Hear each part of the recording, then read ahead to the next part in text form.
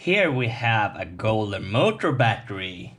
It's not every day we get them. There are they sell um, e-bike kits from China, and they also sell batteries. Uh, the Twitter cases they usually come in this kind of case.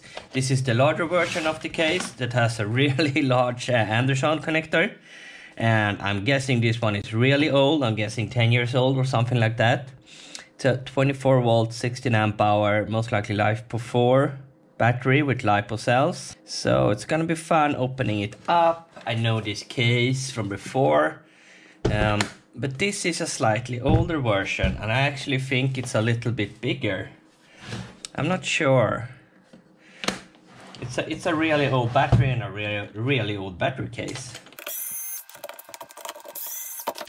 Uh, the customer did not bring in the charger or the keys. We will have to charge him extra for that. We will see if he must bring in the key for us to even work with it. Usually the key is connected to the ignition. What the actual fuck? What the fuck? Why? Why Golden Motors? Why? Some piece of plastic or rubber. Oh, cool. They're not using lipocells. They're actually using 26650s. I'm branded. And no, um, it's not connected to the ignition. So we actually don't need the key. Lucky for him, or we would have charged him extra for that. And they have cut off the Anderson to make it fit uh, in the case even better. That's usually what I do too. Otherwise it would be sticking in one centimeter. In this case it would work, but such a such a weird thing to do. Only in China.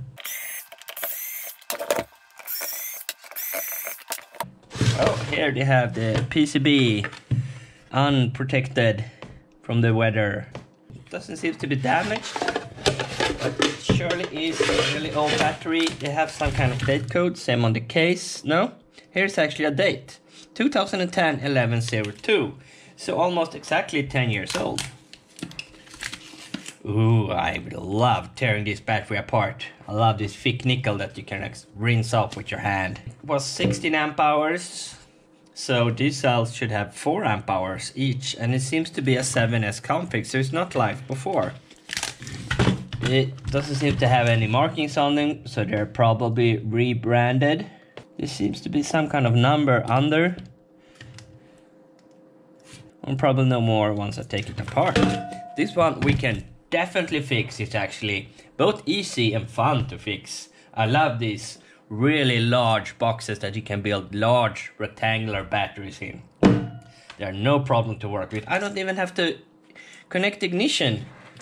yeah, just two wires for charging and two for discharging. Easy as fuck. Thank you, Golden Motors, for building such. Still, 10 years is really good.